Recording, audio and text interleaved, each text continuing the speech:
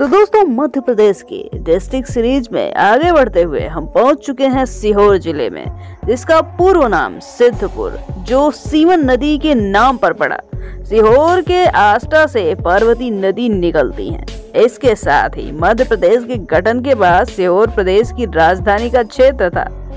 और इतना ही नहीं, उन्नीस सौ बहत्तर में सीहोर से अलग करके एक नया जिला भोपाल बनाया गया और नए बने ज़िले को मध्य प्रदेश की राजधानी घोषित कर दिया गया।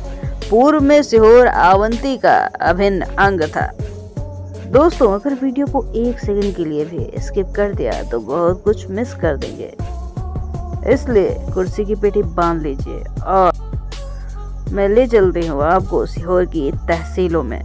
तो तहसीलें हैं, सीहोर, इच्छावर, आष्ठा बुधनी नसरुल्लागंज, रेहटी, श्यामपुर और चावर।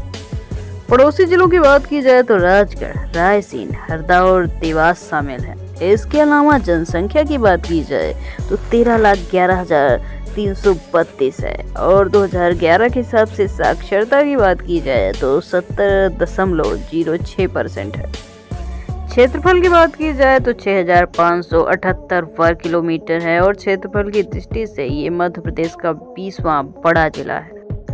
एंड कृषि की बात की जाए तो सीहोर ज़िले में सोयाबीन की फ़सल मुख्य रूप से उगाई जाती है।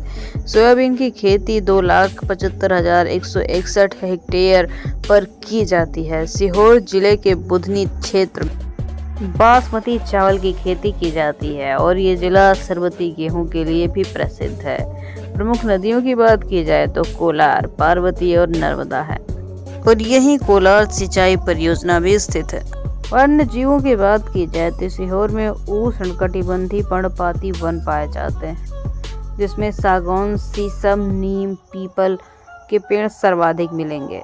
यहाँ बाघ, जंगली कुत्ते, लियोपर्ड लोमड़ी और भारतीय सैल अजगर भी मिलते हैं। इसके अलावा अगर राष्ट्रीय अभ्यारण्य की बात की जाए तो राता पानी वन्य जीव अभ्यारण्य यहाँ पे है और जो टाइगर प्रोजेक्ट के लिए भी जाना जाता है।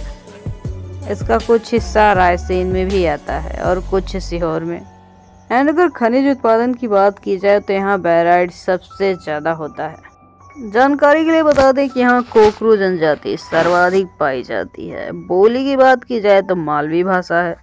लोक नाट्य की बात की जाए तो भवई लोक नाट्य है। फैक्ट की बात तो ये भी है कि यहाँ सकलनपुर का मेला लगता है। इसके अलावा यहाँ भोपाल शुगर मिल भी है। इसके अलावा यहाँ कोलार परियोजना भी है। सीहोर में जामा मस्जिद का जीर्णोद्धार सिकंदराजन द्वारा कराया गया था। इसके साथ ही दशहरा वाला मैदान सीहोर में, जहाँ नरसिंहगढ़ के राजकुमार चैन सिंह द्वारा अंग्रेज़ों से युद्ध किया गया और यहीं पे उनकी समाधि बना दी गई। उनको मध्य प्रदेश का प्रथम शहीद भी माना जाता है। इसके अलावा सकलनपुर में माता पार्वती का मंदिर भी है, जो एक शक्तिपीठ है। साथ ही यहाँ पर कुंवर चैन सिंह की छतरी भी है। जानकर हैरानी होगी कि रेलवे स्लीपर बनाने का कारखाना सीहोर ज़िले के बुधनी में स्थित है। इसके अलावा यहाँ की सबसे बड़ी बात, मोहम्मद हितायुल्ला जो सुप्रीम कोर्ट के जज बने थे, यहीं के निवासी हैं। तो दोस्तों, इस वीडियो के माध्यम से हमने सीहोर ज़िले से जुड़े महत्वपूर्ण फैक्ट्स और इन्फॉर्मेशन को कवर करने की कोशिश की है। वीडियो का कौन सा पार्ट ज़्यादा इंटरेस्टिंग था कमेंट सेक्शन में ज़रूर बताइएगा। Thanks for watching